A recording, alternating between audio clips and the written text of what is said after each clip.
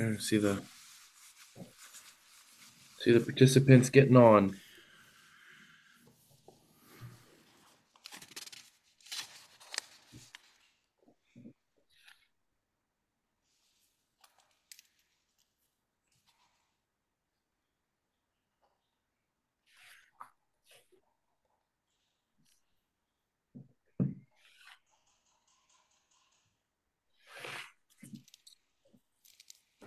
I'll give it a few minutes here, get get started.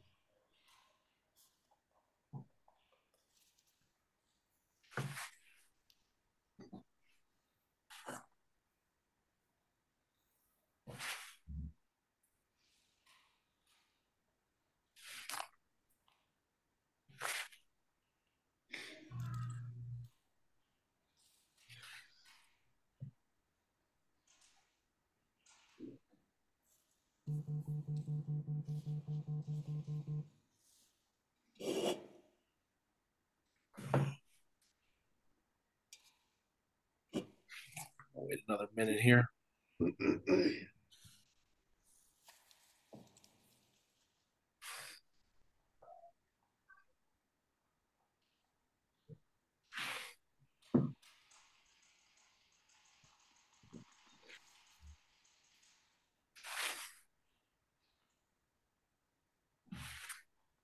All right. You guys want to go ahead and get started here? Sounds good. All right. Sure.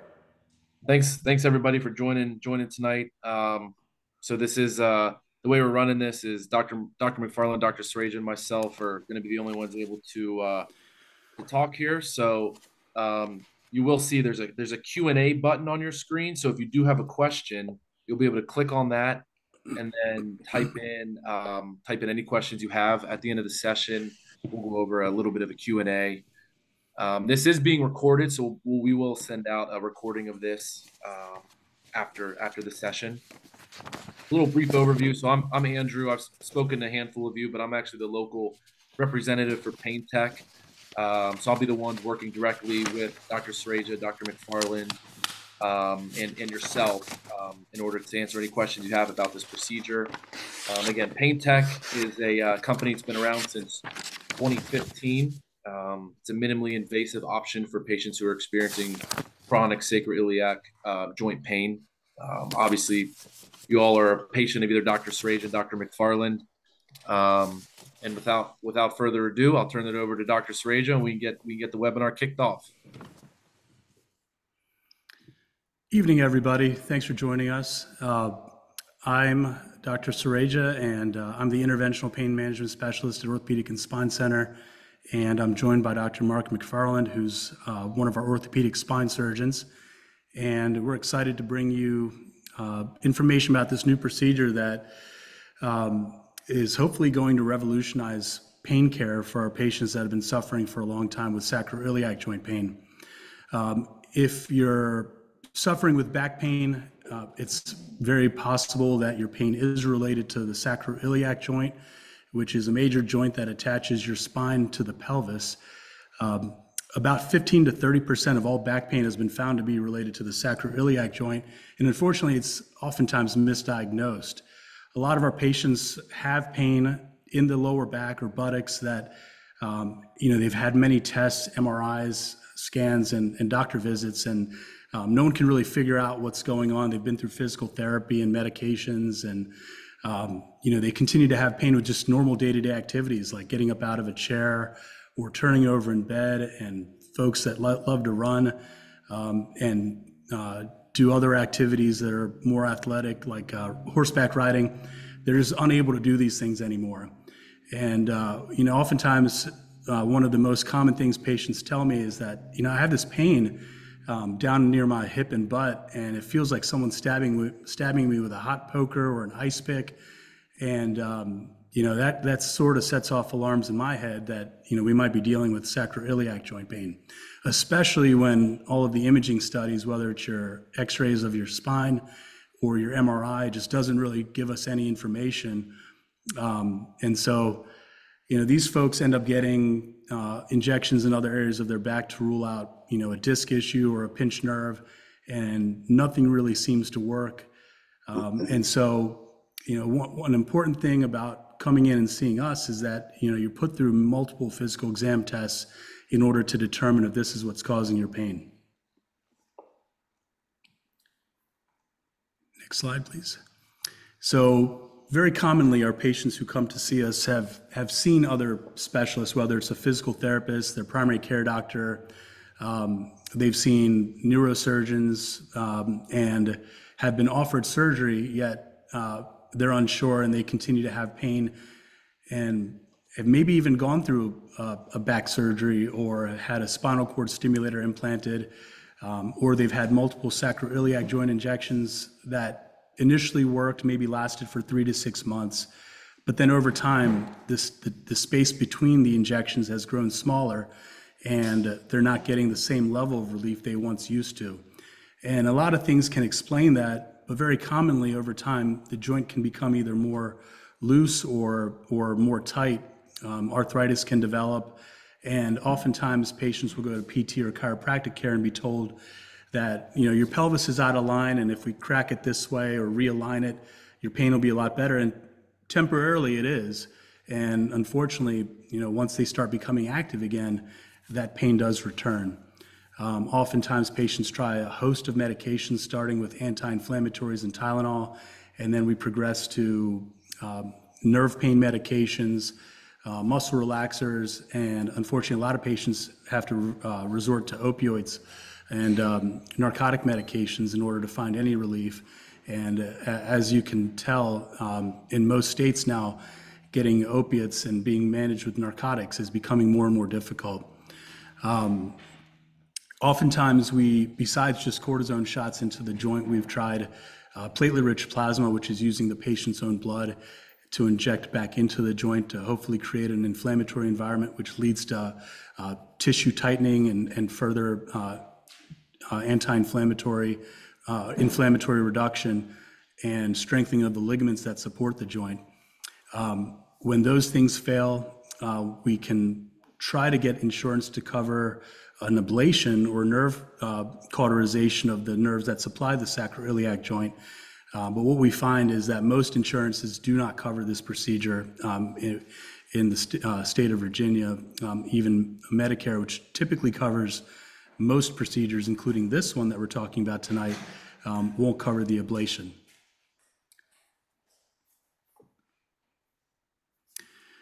So here's a diagram of what the sacroiliac joint actually looks like.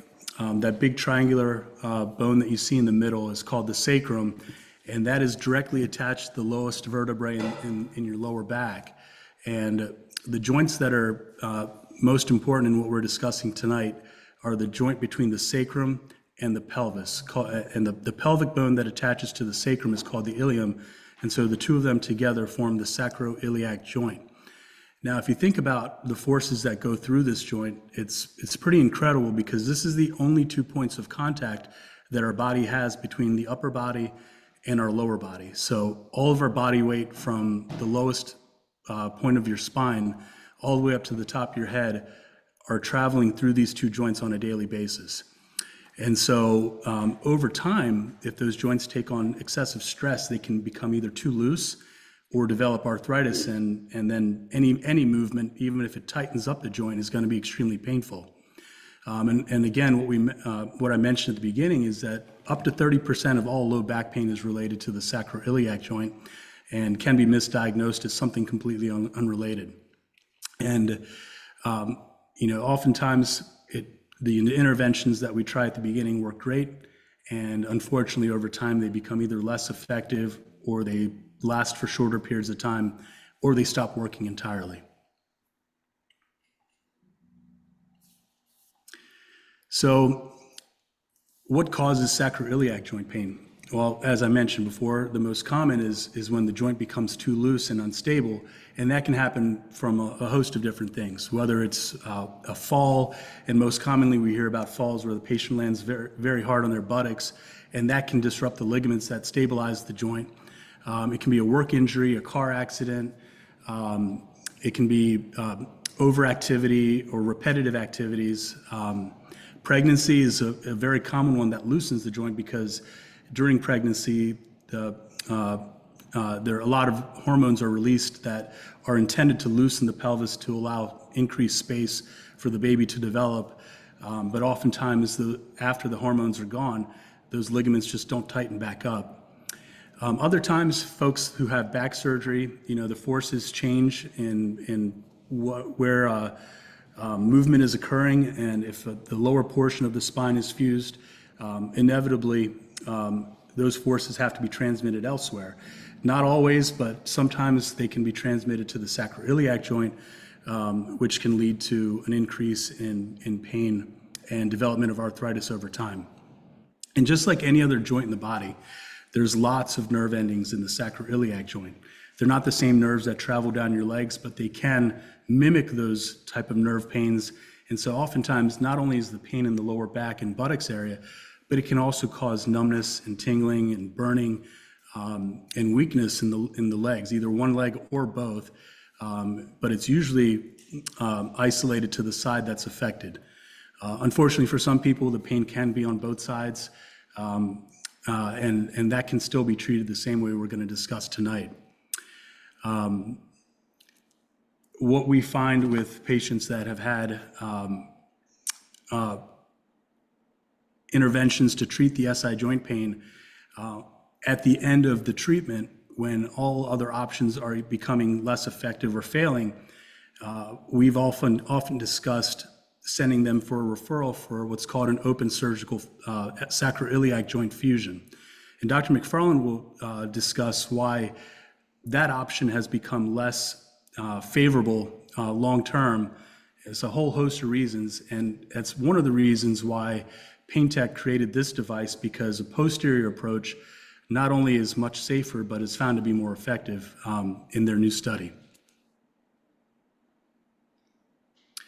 So before Dr. McFarland gets into um, how the procedure is done and what it entails, I did want to mention that that PainTEQ just released their their 12-month study looking at um, uh, 83 patients that uh, there was a, over 100 patients that started in the study and 83 that completed the study after 12 months.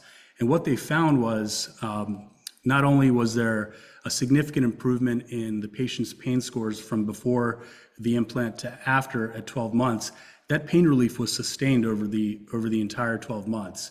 Um, the, the, there were very few adverse events in the entire trial. There was five adverse events, um, and only um, one of them was directly related to the procedure, which was an anesthetic-related issue.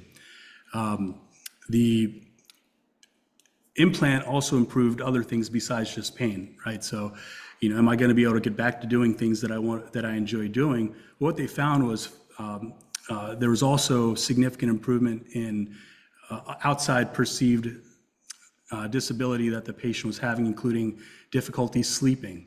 A lot of times patients have this pain where um, just turning over in bed is extremely painful and they feel that sharp stabbing pain. And so there was a significant improvement in pain, um, I'm sorry, in, sleep disturbances, um, fatigue during the daytime because they're sleeping better. There was less anxiety, less depression, um, and they were able to return to their uh, social roles. Like if they're the, the leader of the household, the main um, money maker, they're able to return to those type of jobs and also the activities that they enjoyed doing prior to this pain developing. Um, and so we saw a significant improvement in physical functioning during um, during this uh, study. Um, and all these were statistically significant measures that um, you know they would they the study would not have been able to show that this was a safe and effective treatment option unless they met those um, outcomes. So then I'll let Dr. McFarland discuss the procedure itself and then at the end, I'll, I'll join again and, and uh, hopefully answer any questions you have. Thanks. Well, good evening, everyone. Um, I'm Dr. Mark McFarland. I'm one of the orthopedic spine surgeons here at the Orthopedic and Spine Center. And Dr. Sureja and I work hand in hand to treat a lot of patients with spinal pain, pelvic pain, hip pain. And, and you're seeing that a lot of these issues, a lot of these diagnoses that you may have many of, can give you symptoms in the same location. So at times it's very difficult, and you're you'll see that we're we're testing and we're doing procedures to try to rule out what is causing your pain or rule in what what is the primary pain generator for you. And we're finding that the sacroiliac joints over time are, are a significantly undertreated component of that pain. And I see it a lot in my practice because whenever we perform procedures on patients on their lumbar spine and we fuse those segments, like Dr. Sureja stated, we are taking the stress from the lower lumbar spine and we're placing it onto those joints that are adjacent. And if we're fusing people down to the sacrum, we're putting a lot of stress on the sacroiliac joint. So that's one common area in my practice where I see a lot of sacroiliac joint dysfunction. But obviously, it can be related to trauma, it can be related to childbirth and pregnancy, it can be related to just simple degeneration over time. Um, it's our job, obviously, when we see you in the office to confirm that the SI joints are part of your uh, your your pain paradigm and what's what's leading to some chronic pain issues for you. Historically, spine surgeons have not tackled the sacroiliac joint simply because the outcomes with treating this joint have not been good. Uh, we either had to employ significant open procedures. We're talking about three to four inch incisions where we're going down and trying to graft the joint, um, having to use screws or other metallic devices to try to compress the joint together and force it to fuse. Uh, that was complicated by either bleeding, hematomas, infections, uh, the spine, the, the SI joints not fusing, or even in some cases nerve and muscle pain because the the access to get to this joint was historically from a lateral approach now uh, that goes through your hip, let's say over your bursa area. Uh, most surgeons in the United States are not performing that procedure. So we'll send patients to our physical med rehab partners to look at these injections or ablations, hopeful to help for some period of time. Uh, but as we're seeing, these injections over time usually will last less and less, and you're end up with chronic pain that's difficult to treat. If you, think about a procedure where you're talking about a three or four inch incision to try to fuse the joint with metallic implants, I want you to look at the picture in the right corner where you see an implant the size of an almond. So you see that implant, and you can imagine how minimally invasive that we can be to place this implant. And we're talking about using an approach that is the same approach that we use when we put injections into the sacroiliac joint. So by doing that, it becomes very, very minimally invasive. And we're seeing that the results, you know, some of the results are 85, 90% success rate with doing this procedure. So uh, and it's an outstanding success rate for for patients that hopeful hopefully we'll be able to pass on to a lot of our patients here in Newport News and the surrounding area. So we get into the procedure, again, it's a small incision. Usually we're talking about an incision that's one inch or possibly less. Um, it's an outpatient procedure. You'll come in, you'll have the surgery. The surgery will potentially take 30 minutes to do this procedure. Um, and whenever we close the skin, there'll be about a one inch incision, like we stated, the incision's covered with glue. There's no stitches or staples or anything that you have to take out later. You're able to use a waterproof dressing. You're able to shower the next day uh, after the procedure. Since the procedure is very minimally invasive, there is very low risk for any infections. Um, uh, usually, we'll, be, we'll bring you in and we'll give you an antibiotic prior to the procedure and then you'll be discharged home with an oral antibiotic that you'll take for five to seven days after the procedure. Um, it's a fairly speedy recovery. You're a little sore after the initial procedure. That go uh, goes away pretty quick in the first two days. Uh, you're left with a little soreness and some restrictions that we'll have to put you on for a few weeks. And we'll discuss those restrictions in a few minutes. I see the next slide, please.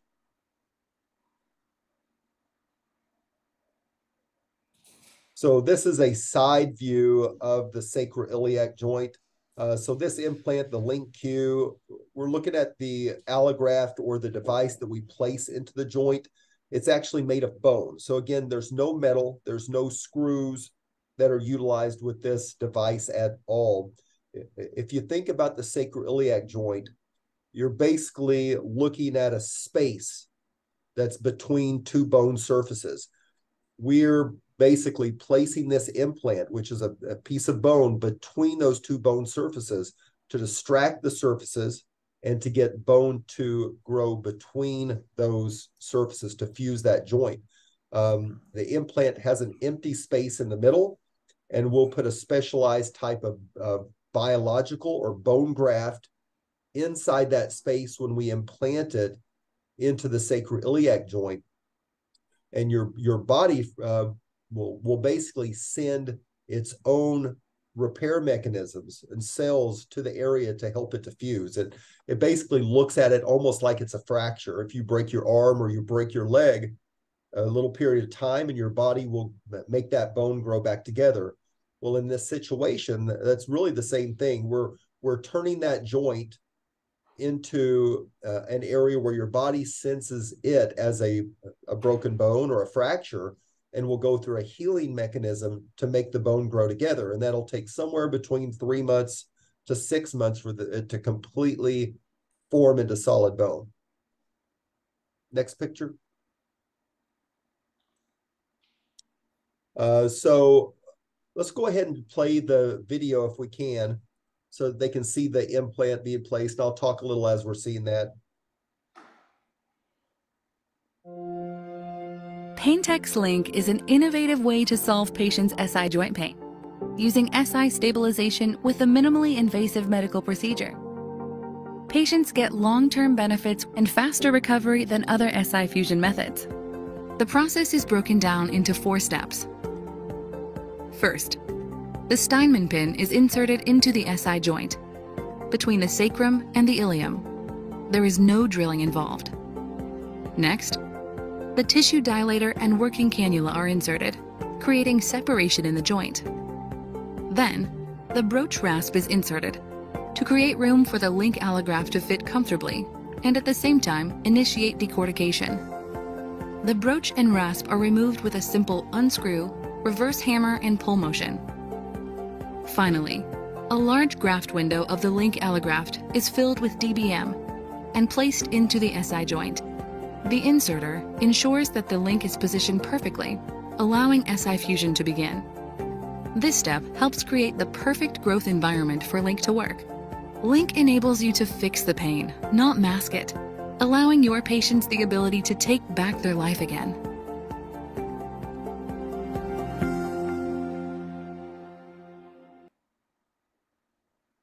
So in that video, you saw the implant being placed. You saw how small that implant was uh, the the graft they call DBM. Uh, that's basically a cadaveric bone graft that we use. I use commonly in my spinal fusions and either the cervical or the lumbar spine. Has an incredibly high fusion rate, um, and typically there's no uh, issues related to infection or rejection uh, in the human body with with that type of implant. We place additional bone graft, that DBM, through the funnel into the back of this implant to really help increase that surface area that the SI joint will fuse. Uh, next video, please.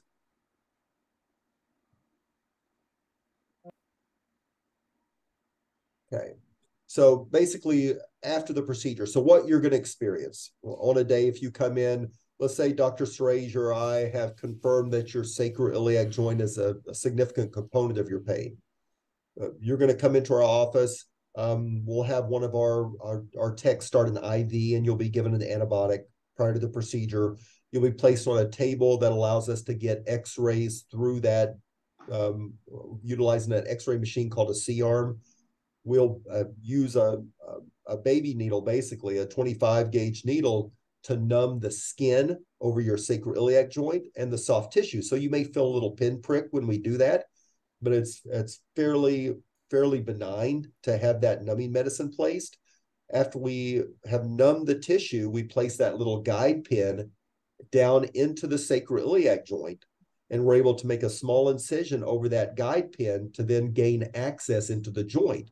Once we spread the joint, you'll feel a little pressure as we open the joint. And then we use what's called a rasp. And with the rasp, basically, we're removing the soft tissues in the joint between the bone, trying to get the bone ready for fusion. So you'll you'll you'll feel that distraction. It'll feel like pressure when we're doing that, and then we're placing the bone graft. So this whole this entire procedure, that portion of the procedure may take 15 minutes to perform the procedure for you. Um, the rest of the procedure is basically where we will close the skin and you utilize a special type of uh, surgical glue over the incision for you that then you can um, shower after the procedure. Initial activity, uh, we don't want you performing any heavy lifting, pushing, or pulling for the next two to six weeks after the procedure. You're able to walk. We encourage walking. Uh, we like you to have frequent position changes during the day. We don't really want you sitting for more than an hour or standing and walking for more than 20 minutes. You'll you'll modify your activity frequently just to take pressure off of the joint. Um, you are allowed to shower. Uh, the only restrictions that I really have from a medication standpoint, we we wouldn't have you utilizing any medicines that could risk the bone fusing. And we're talking about medicines that have some type of anti-inflammatory action. So ibuprofen, Aleve, Motrin, any type of oral steroids that you take daily will have you have you off of those medicines for a period of time while we watch the joint heal and we'll bring you back at certain intervals to take x-rays to make sure that the joint is healing well um, I'll likely take an X-ray at three months, and I'll likely take another X-ray at six months to kind of confirm that the joint is, is solidly united for you. And as we move through the weeks, we'll increase that activity level. So after six weeks, we'll let you do most of your normal activities in my practice. Um, if you are someone that's primarily sedentary, you can go back to your job at two weeks. If you're someone that has a very strenuous uh, occupation, um, then we may restrict that activity for six weeks. So it, it really depends on what your job is, how soon you'll go back back to it. Uh, but you will be able to return to all activities eventually without any restrictions after this procedure. Um,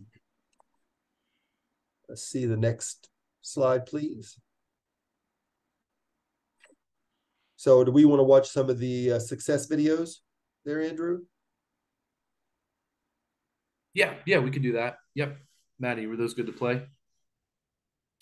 So here's a few videos of actual patients for, for procedure. procedure. I couldn't walk very far. I was in so much pain that I was willing to try anything. I've had injections and I've also had bricks inserted into the SI joints and they were not working. When it came to the point of being confined to home and losing independence, my reservations went on vacation.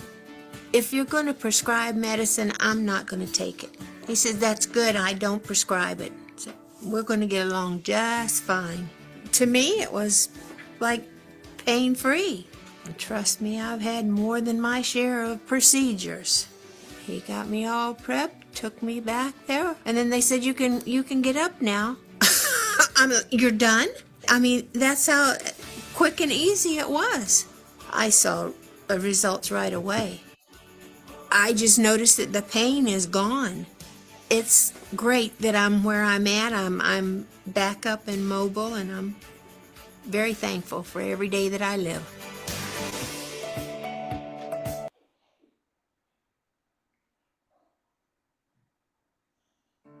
My uh, SI joint pain in the beginning, when I first came to Dr. Azim, was extremely severe, and it was the point where I was basically immobile. It was an effort just to get out of the chair, to walk to the bedroom, to go to the restroom. You know, my hobby and passion is is fishing, and uh, to lose that was was very frightening. You know, at first, of course, you have some reservations, but the way Dr. Azim explained it to me and how the procedure would work and how simple it was, it was really a no brainer. It is a relatively non invasive surgery. It's just a small incision, and then when you come out, everybody's so pleasant and nice. Well, if I had known sooner about the procedure, we'd have done it two years earlier. We went, went as, just as soon as we could get approval, and he'd done the diagnostic uh, injections prior to it. It's an amazingly simple solution. There's no after feeling or that there's anything there. I'm just feel normal. And my pain was reduced by 85 or 90 percent Fortunately, uh, after having the surgery, I've been able to go out in the boat, and we've been out several times.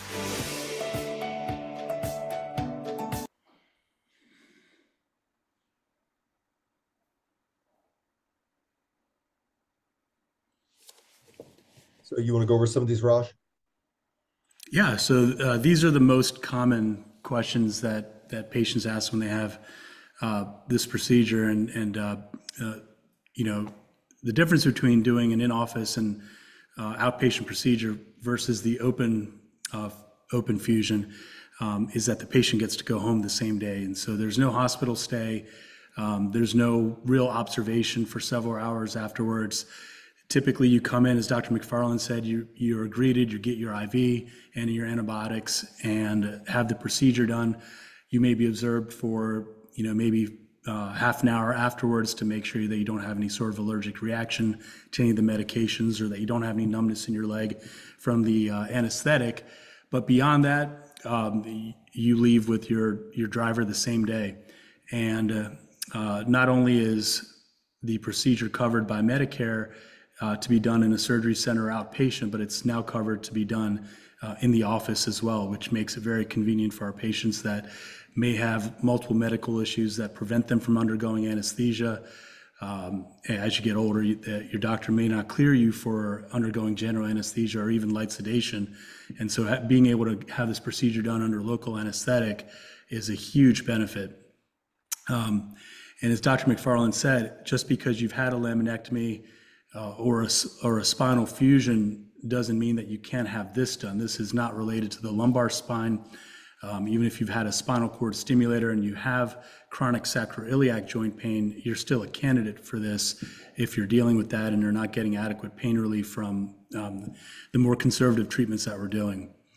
Um, a- again, you can still have MRIs and CT scans because this is not a metallic uh, metallic object um, like a titanium screw, which still doesn't uh, stop you from having an MRI, but a spinal cord stimulator or bladder stimulator or other device like that or a pacemaker that would prevent you from having an MRI or CT scan.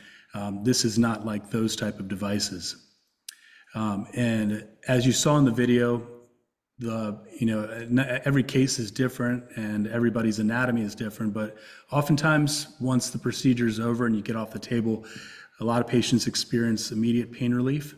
Um, obviously, there's going to be some procedural soreness once the anesthesia wears off, but as Dr. McFarland said, you're going to be up and walking um, as far as uh, not doing the excessive bending and twisting almost right away. And oftentimes we see patients that have pain on, on both sides of their sacroiliac joint. Um, typically, we'll treat one side and see how you do with that um, so that you know, you're not uh, in, in a lot of pain after the procedure and, and are not able to get up and move around. So one side is done, um, and then we plan on, on having the other side done if, if there is pain on both sides. Go to um, our patient questions now. Oh, sorry, I'm muted. Yep, so we got got a handful of questions here. Um, First question says, I have screws and back prior back fusion. Would I be a good candidate for this procedure? Uh, yeah, I could I could jump on that. And that you're a common patient that we're going to see that's a great candidate for this procedure. I mean, having the instrumentation in your spine, having a true fusion, you are stressing those sacroiliac joints all the time. And, you know, obviously we're going to want to do some diagnostic you know things to prove that your SI joints are involved in your pain and there's not something else related to your spinal fusion or your previous surgery that's part of that. But most patients that have significant spinal fusions will have sacroiliitis and have sacroiliac pain that we can treat with this procedure. So um yeah, I'm, this is going to become a, a big part of my practice in general, looking at patients that have had previous spinal fusions and really evaluating those sacroiliac joints to see if this procedure can help your chronic pain issues. Yeah, well said.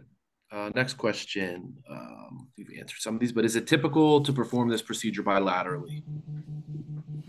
Yeah, so as, as I just mentioned um, on the previous slide, if you have bilateral joint pain, typically we'll treat the more painful side first um, with the with the SI joint fusion, and plan on on getting the other side uh, fused at a later date, just so that there's not bilateral postoperative pain, and you're able to get up and do more right after the uh, the procedure.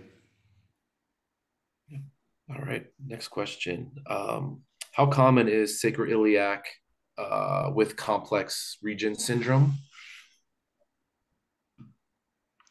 Complex regional pain syndrome, I'm assuming. Yeah. Uh, so the two are usually unrelated. Um, if when we do see sacroiliac joint pain in relation to complex regional pain syndrome, it's usually when that complex regional pain is in the, the legs or in the knee or the ankle or foot. And that actually uh, affects the gait so much that the patient alters how they're walking, how they're weight bearing on one leg or the other. And typically we'll see pain on the opposite side because now the patient shifts their body weight and their center of gravity over the side that normally doesn't hurt in order to take pressure off the side that is hurting from the complex regional pain. So then they end up developing uh, this inflammation and pain, sometimes instability within the sacroiliac joint. So, yeah, I guess we do see any lower extremity injury or pain can lead to sacroiliac joint pain, such as hip arthritis, knee arthritis, complex regional pain, or anything where the patient ends up shifting their gait and they end up with a gait abnormality that leads to pain on the opposite side. Yep. All right. The questions are rolling in. You open the floodgates. Uh, This says, uh, is this done in the same place as we get um, the injections? Typically, yes. I mean, the- there, there will be options for where you can have it done, but for most patients, we'll be able to do it in the same location that you have your injections in our pain management center upstairs, done under local anesthesia, so you won't have to worry about any complications related to the general anesthetic or uh, significant sedation like you would have in another setting. Um, This next question says, how long, how long um, have you guys been doing this procedure? How many have have each done? well, procedures, sacroiliac So- fusions have been being done for 50 years. Hmm. This is a very new procedure, you know, for us. So we, I would say for me, in my standpoint, we've been doing this approach, the injections and placement into the sacroiliac joint for years, really for 18, 19 years in my case, um, that we've been doing these, uh, this exact approach for the procedure. The number of SI joint fusions that we've done with this technique, it's a brand new procedure. So those patients that sign up, we're going to make sure that they're great candidates for it, um, and and and do them here at OSC and offer it to our patients in Newport News and the surrounding area. Yeah, and, and another um, bit of information is that the first in-office sacroiliac joint fusion using this procedure was done just this January. Brand so, um, in, in, brand new as far as getting that uh, approval from Medicare and other insurers in order to have that site of service be in the office, which again is a, is a great option for uh, folks that can't or don't want to undergo general anesthesia or um, sedation for the procedure. Uh, the um, procedure that, in, uh, as Dr. McFarland said, the approach is exactly the same as the SI joint injections we've been doing for 20 years. Um, and the equipment that we're using is, is very similar to what we use to repair spinal fractures uh, in a procedure called kyphoplasty. So um, very adept at, at approaching bone and, and um, you know, making uh, altera- small alterations in the bone in order to uh, repair and, and improve pain. So um, it, it, really is a minimally invasive procedure in that regard. Great. Next one. Um, so again, we kind of went over this, but do you do both sides? Um, I don't know if you want to speak to that again, but I mean, kind of move on. I think you guys answered that one. Uh, let's see. Can this done? Yeah, same thing. Can this um, be done on both sides? We got a lot of bilateral SI joint pain. Also, if I have a, uh, both hips replaced. And the same thing, commonly patients, commonly patients that have bilateral hip replacements will develop sacroiliitis and lumbar degenerative disc disease. And patients that have had multi-level spinal fusions will develop sacroiliitis and over time may develop arthritis in their hips. So, you know, function, you know, a lot of times when we're doing things to to relieve pain, let's say a spinal fusion in that circumstance, we all know that there are consequences of those procedures as well. We're placing stress in other areas of the body.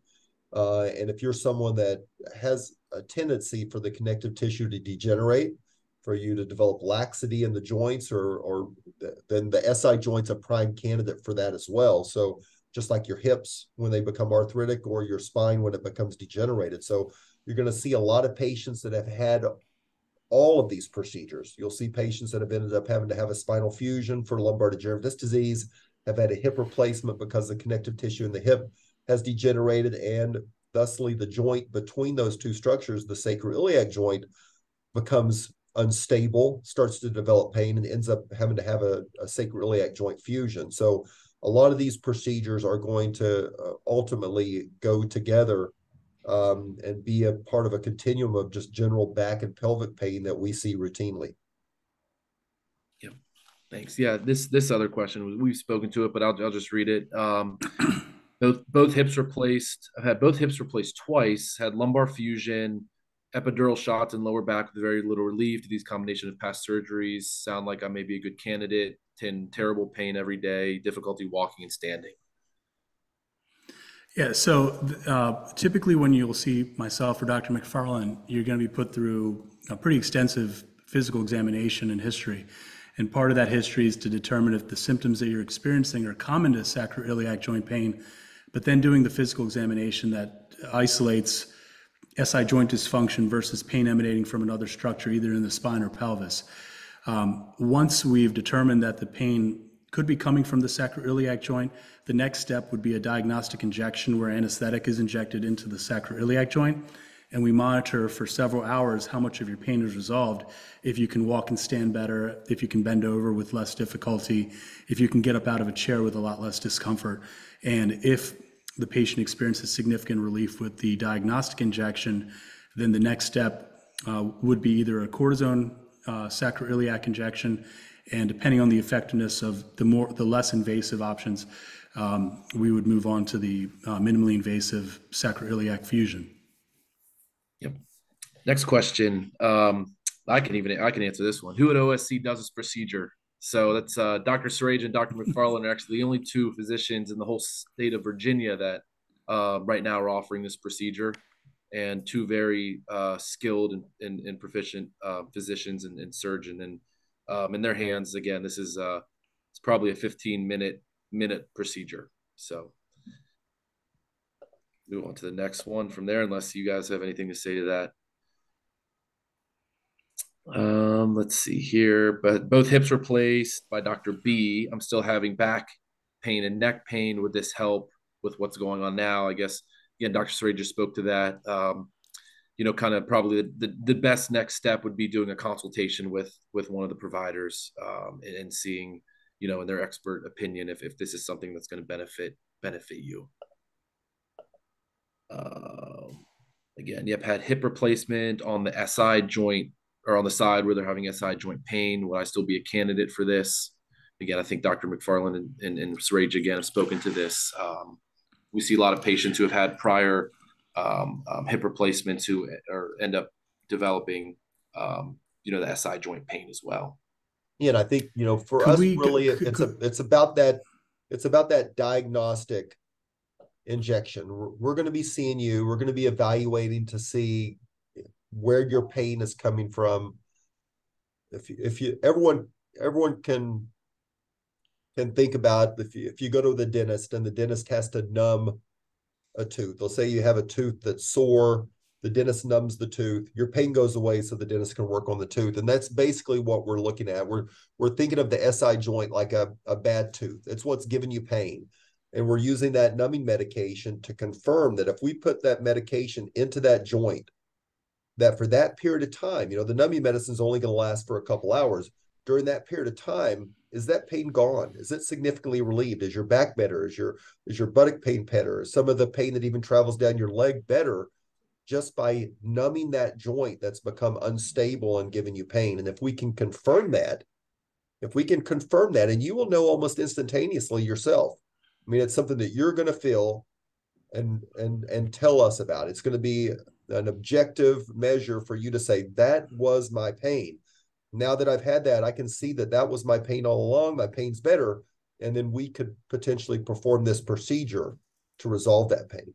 Hmm. And that's that's what we're looking for to find find patients that we can really help with with this procedure that that diagnostic injection confirms that your pain is from the sacroiliac joint. Yeah, very well said. Um, again, if I get tightness in my lower back, can that indicate an SI problem? Um, again, I think you know been covered. Uh, obviously, the the workup prior uh, you know the, the physicians aren't just going to put you down and put the implant in you they're going to make sure there's a workup to to you know make sure that you're a right candidate beforehand and i think a lot of a lot of these conditions and a lot of people are talking about the the other dysfunction you know when you have a joint if you have a bad hip or a bad si joint mm-hmm. or degeneration of your spine it's going to affect your posture it's going to affect the way you stand it's going to affect the way you walk it's going to affect your balance you're going to lean to one side or the other to take stress off the joints that's going to make your back muscles tight. It's going to make your gluteal tendon sore. You're going to get tendonitis. You're going to get bursitis. You're going to get a lot of other surrounding conditions because the joint is bad. Mm-hmm. So once you take care of that primary issue, the other issues, your posture improves, the inflammation over the tendons and the bursa improves. A lot of these other things will go away because you've taken take, taken care of the primary problem. Right. Yep. Again, very very well said. Uh, looks like we have a patient of Dr. Andrus. Um, it's been diagnosed with sacroiliitis. Again, asked if it was a new procedure. Um, yep, and then they said, yeah, Doctor like again, Dr. McFarland and Dr. Sureja both very both very uh, well qualified to to perform this procedure. Um, let's see here. I'm current patient of Dr. Burrow. Not exactly sure that is, but I told him we would not have back surgery scheduled for hip replacement in June. Pain is in the groin and feels like the muscle down to the knee. Um, again, I you know I don't want to overstep Dr. Sureja or Dr. McFarland, but I think this is uh, you know uh, just a matter of patients coming in and, and making sure that you know the, the the pain generator is SI joint. But I can let you guys speak to that if you want to comment on it any further. That, yeah, Andrew, if we could if we could go back to the uh, the, the slide with the picture of the pelvis, the sacrum, and the iliac. Yeah. Yep. Maddie, can uh, I can uh, hopefully hopefully help explain um, you know the difference between the hip joint and the sacroiliac joint, which I think even my patients that I've I've been doing sacroiliac joint injections on, they may still refer to that injection as a hip injection. Mm-hmm. Now, um, the, the, the area where the spine attaches to the sacrum, uh, if we could point the pointer to the top of the sacrum,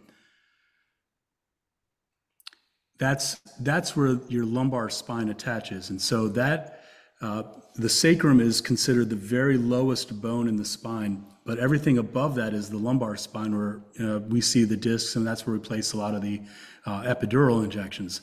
The two long lines on either side of the sacrum where it attaches to the ilium is where the sacroiliac joint is. Now, diagonal and down from the sacroiliac joint on the outside of the ilium. Go over a little bit, Maddie. Uh, if we can. Um, to the left, if you don't mind. You go to the left and down. Over more. A little bit more. Yep. So that's the area where the hip joint is. And so the, the two areas are completely separate, although uh, often referred to as hip pain when patients are referring to sacroiliac joint, and so, oftentimes the symptoms do overlap. Now, that is why oftentimes a hip replacement or, or the, I guess, the gait abnormality leading up to the hip replacement from wear and tear of the joint will lead to a, sacroiliac joint problem that may not go away completely after the hip replacement. And so, if you've had a hip replacement or if you've had a lumbar fusion, as Dr. McFarland said, other problems may still exist. You may still have a bad sacroiliac joint that needs to be addressed um, at a at a separate um, as a separate issue. Yeah, very well said there. Let's see here. Um, Oops, sorry. Let me scroll back up to the questions here. Uh, let's see. Oh, is this material you place in the center of the implant similar to the bone in a bottle an oral surgeon would use? not sure what bone in a bottle is, if you guys know, but yes, I mean the bone in the bottle basically is demineralized bone matrix. A lot of times they'll place, let's say you have to have an implant placed into your jaw. You have to have a, a, a new implant placed. They'll use a bone graft that they'll plant into the socket and let that generate new bone for a period of time. They may they may put that in there for three to six months to let bone generate in the jaw that then they can go and place an implant into. This is basically the same material. It's a demineralized bone matrix. It's cadaveric bone, cortical bone that's been acid washed to reduce it, to get rid of all the cellularity, meaning there's no DNA, there's no real human structure. It's it's just a it's just a network of bone that acts like a lattice for your body to grow new bone into. If that if that makes sense to everybody, um, but it is basically the same type of product that a dentist would use uh, when they're working on your jaw. Right. Um, next question for Dr. McFarland. Patient of yours looks like they were diagnosed with ankylosing spondyle, uh, spondylitis two weeks ago. Um, am I am I a candidate for this procedure? They're asking.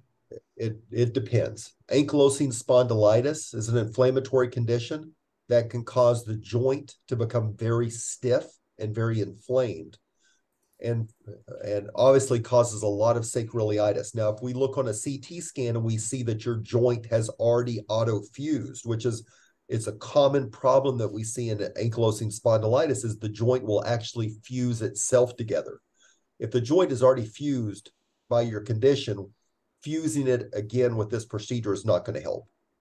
If we look on a CT scan or an MRI and we see that the, that the joint is becoming stiff, it's becoming degenerated, you're developing spurs around it, and it has not fused, and we confirm with one of these diagnostic injections that that injection significantly reduces your pain, yes, you're a great candidate. You're absolutely one of the, the, the best candidates for the procedure to stabilize that joint. But it would have to be, we would have to confirm with the test the diagnostic test as well as the CT to make sure your joint hasn't already fused.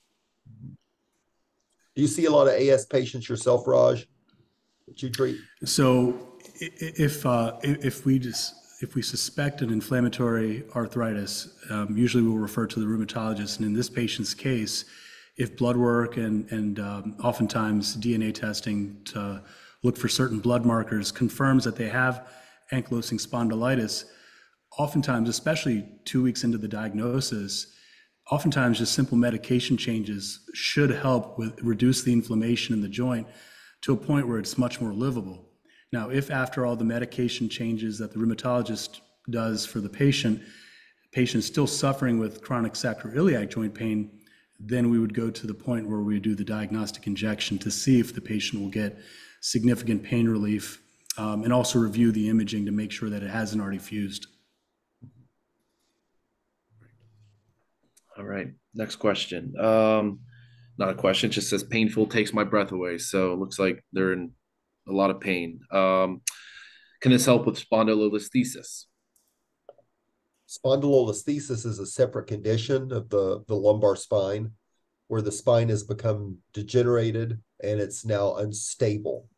And that obviously will create a lot of back pain. It'll compress the nerves and give you a lot of numbness or tingling or perceived weakness down the leg. It's a separate condition that we treat as well, but this this procedure uh, would not help with the spondylolisthesis. But that's part of our evaluation. You know, a lot of patients may come in to see us hoping that this procedure is going to help them, and we may find that they have a spondylolisthesis or they have ankylosing spondylitis or they have other conditions that are very treatable and it, it's really kind of confirming what is your true pain generator and working through that process to see what would help you.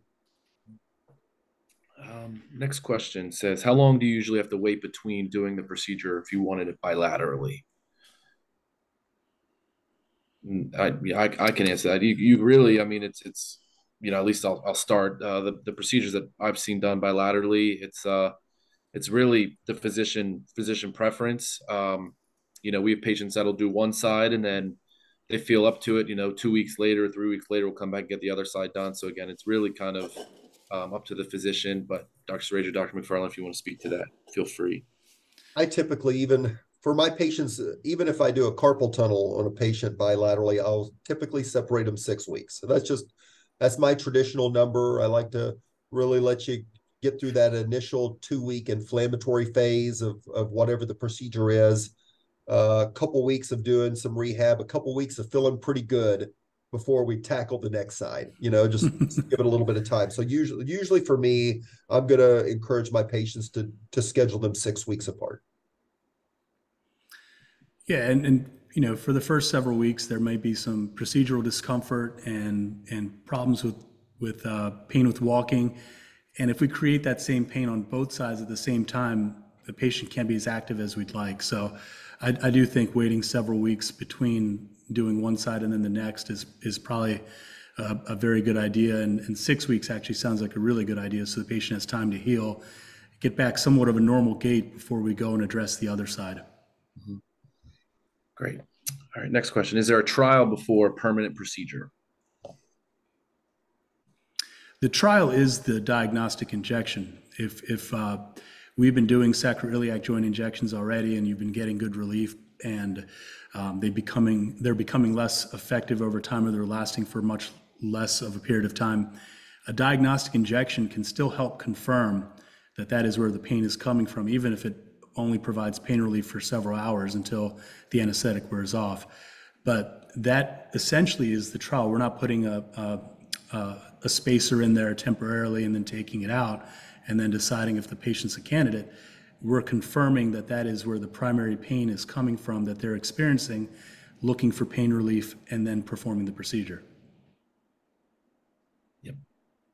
All right. Um, next question Is this procedure considered a permanent solution? Correct. It's a it would be a permanent solution for that joint. Um, obviously, we the the goal is to obtain a fusion. Uh, this procedure will have about an 85 to 90 percent fusion rate. Uh, if it doesn't fuse, then we still have other options to try to force the joint to fuse, whether it's with a, a type of bone growth stimulator or if it's alternative procedures.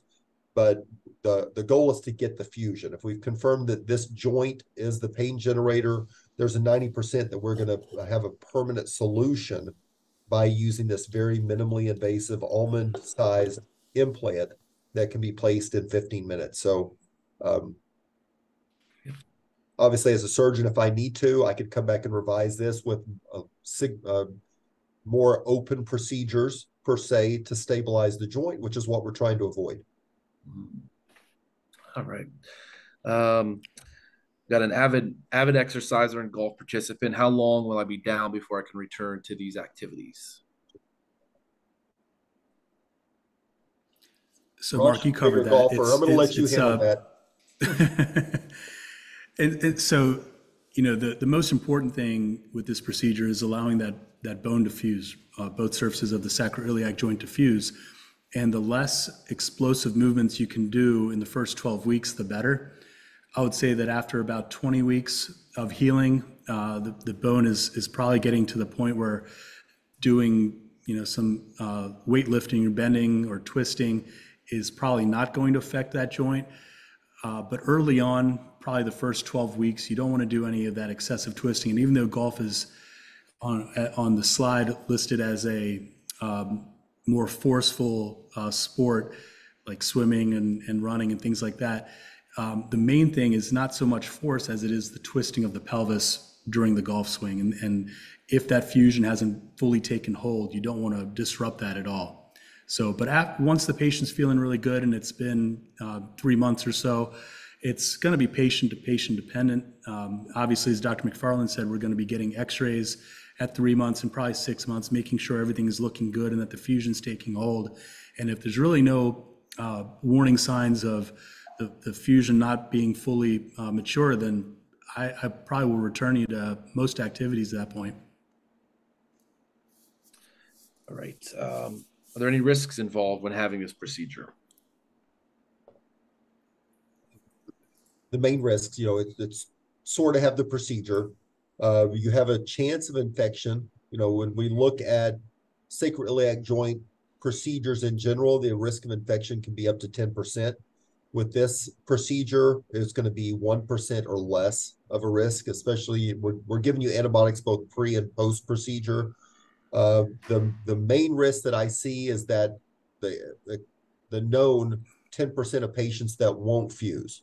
And then if we need to move forward with additional options, we'd have to perform a different type of procedure, um, a more open procedure to get the joint to fuse. Uh, there's no risks of anesthesia because there is no anesthesia. Basically, we're talking about lidocaine for the most part, the same proceed, the same medication you would have if you had a, a cut on your skin that you were having repaired, or if you went to the dentist to have um, a procedure at the dental office. Um, so the numbing medication obviously is very different than going to the hospital and being uh, put asleep with propofol or other general anesthetics that could have could have issues for you from a cognitive standpoint, but also have high stress on your heart and your lungs and other organ systems. You simply won't have that with this procedure since we're only using a local anesthetic. Yeah. All right. Um, this patient had a pacemaker installed on March 1st. Can they still do the procedure?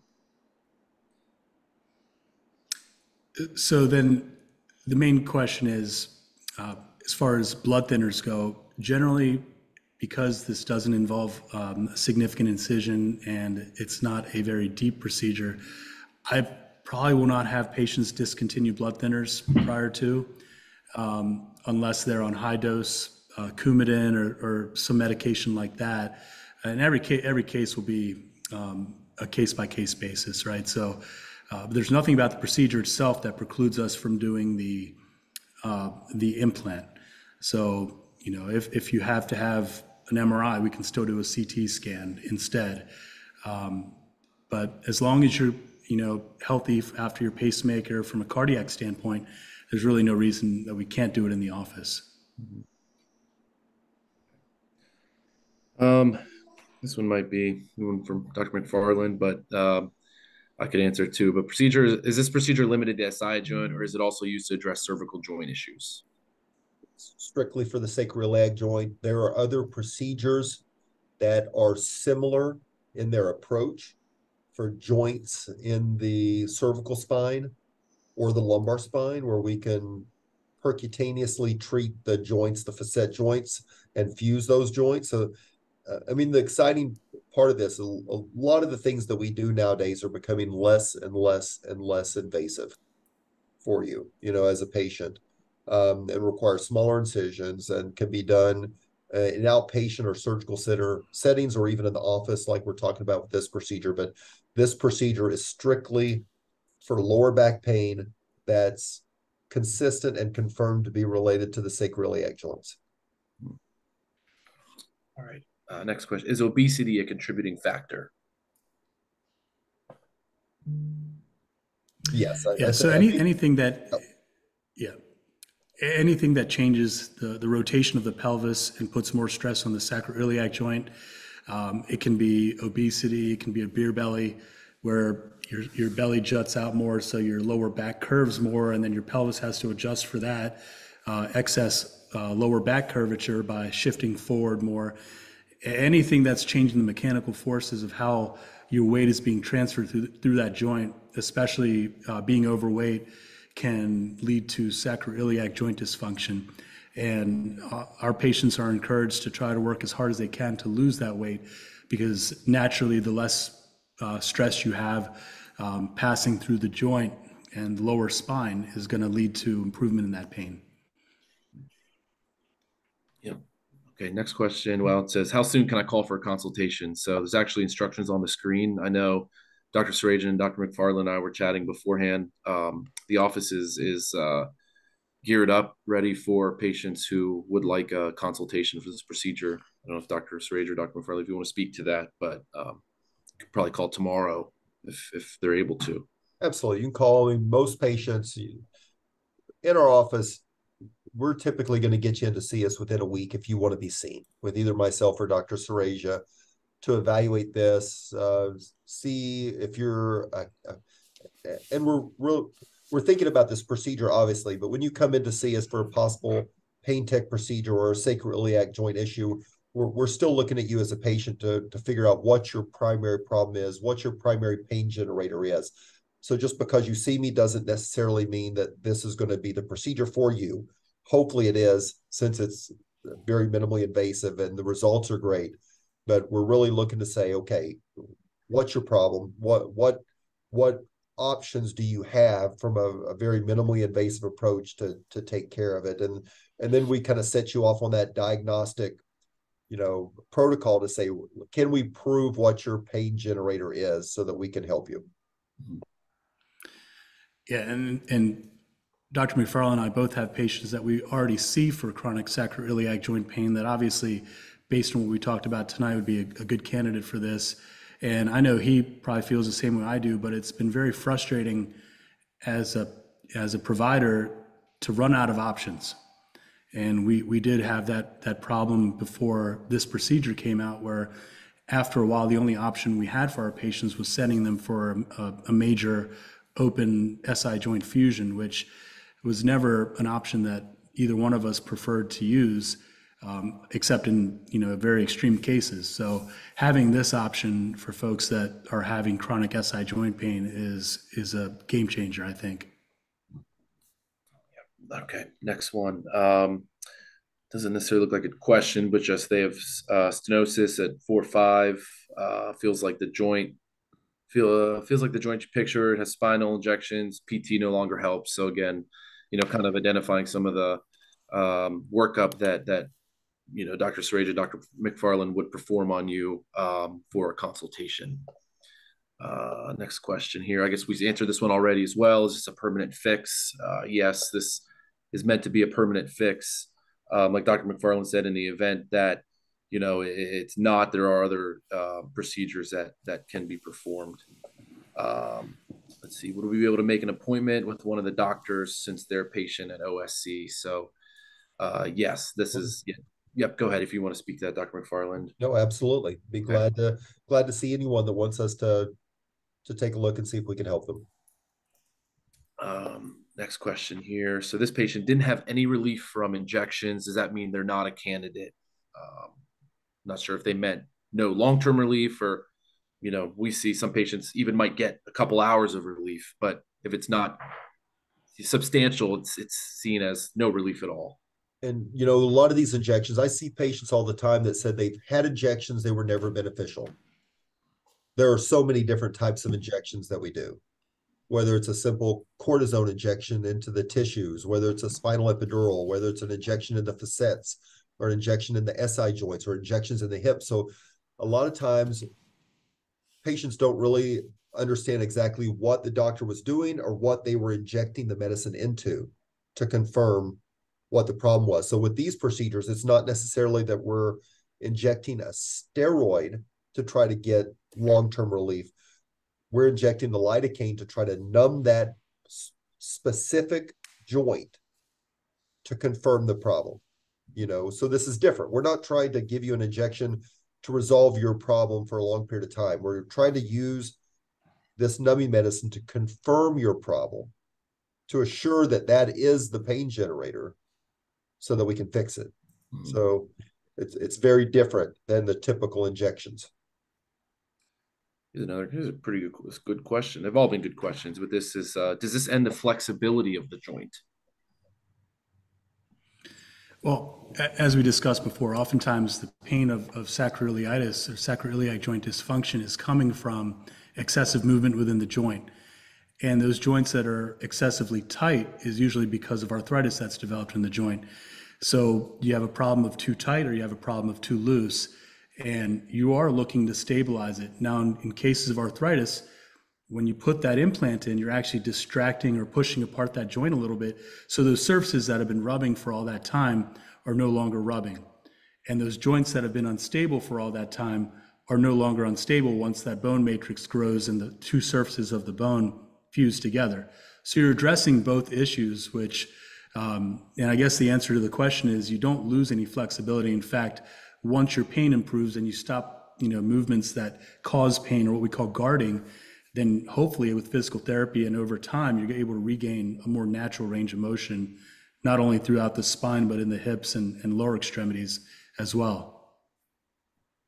Completely agree. Yep. Yep. Yep. Yeah, very well said. Uh, this next question kind of could parlay into that a little bit, but after the surgery is completely healed, are there any physical limitations as a result of the uh, fusion? No.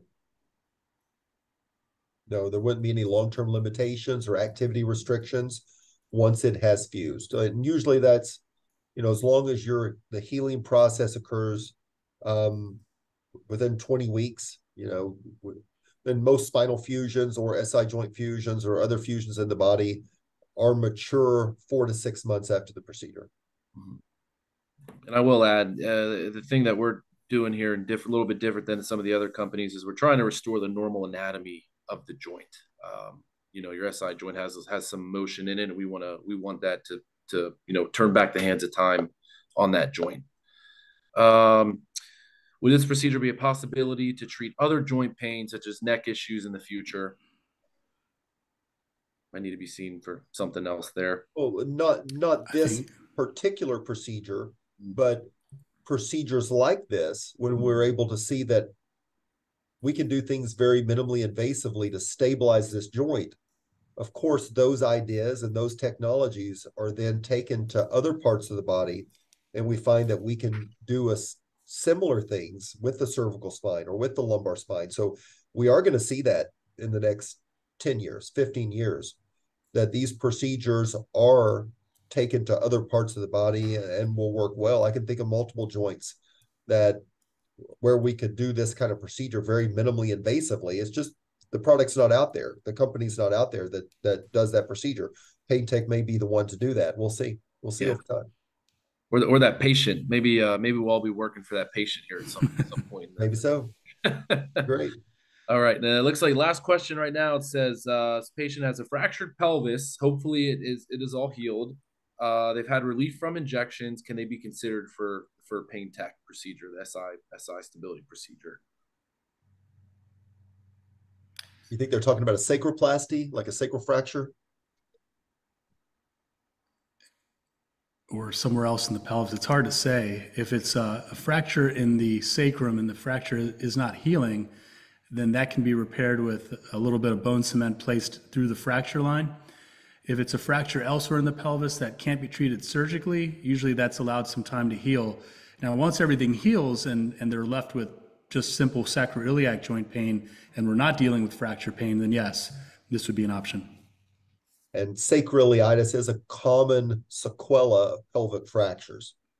When you have enough stress that goes through the pelvis to break the bone, you obviously can cause shear forces that can lead to some instability and inflammation around the sacroiliac joint. So uh, that's a common problem that we see even after the bone has healed around the around the pelvis that patients have sacroiliitis that would, needs to be treated. Very well said. Well, that was uh that was the last question we had. Uh actually, whoops, looks, looks like one more just popped up here. Let's see what we have. Uh, had many injections, last approximately two to three weeks. Just had MRI of my hips and lumbar area as well as my pelvis. All comes back to SI joint.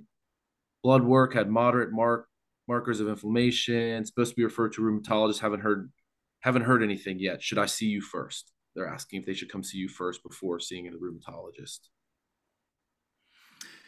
It, like I mentioned before, if there is an actual autoimmune inflammatory issue going on, that should be addressed first. Oftentimes, that's enough to address a lot of that inflammatory pain.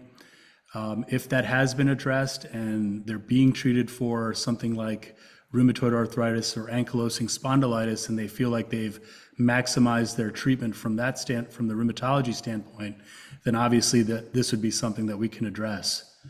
Um, I, I, would uh, use this the same way as uh, or met, uh, preface this the same way as the patient who has just been diagnosed with ankylosing spondylitis two weeks ago, in that um, you really want to address the inflammatory component of the pain before you start uh, looking at injection options and, and, other more invasive options than just simple medication uh, changes. Okay. Well, it looks like, unless another question pops up here, that's all the questions we had. Um, I want to thank everybody for jumping on here. Um, again, the, the next steps are, are on the screen here, but you know, we can, we can, uh, or you're able to schedule a consult with Dr. Sureja, Dr. McFarland. They'll do a, uh, they'll do a complete workup, um, and see if that this, uh, see if this is something that would ultimately be beneficial for you. Um, again, this, this, uh, webinar is recorded, so we're going to send out a recording. Um, and then again, my, my contact is on the screen here. That's my email and cell phone number. Um, so if you do have any other questions, uh, feel free to call or, or text me. Um, again, appreciate Dr. McFarland and Dr. Sureja for jumping on. And if you, either of you have anything to to say, um, you're more than welcome to. Well, thank you for joining us tonight. And uh, I know Dr. McFarland agrees. Um, we are very excited about this uh, new option we have for our patients. Absolutely. Hope to see uh, anyone that needs us to take a look at him over the next few weeks and uh, see if we can uh, be of help. Awesome. Okay. Well, thanks again. I appreciate you guys. Um, to Dr. McFarland, Dr. Sureja, and then for everybody jumping on tonight. Yeah, we'll see everyone. Okay. Have a good Thank night. Thank you.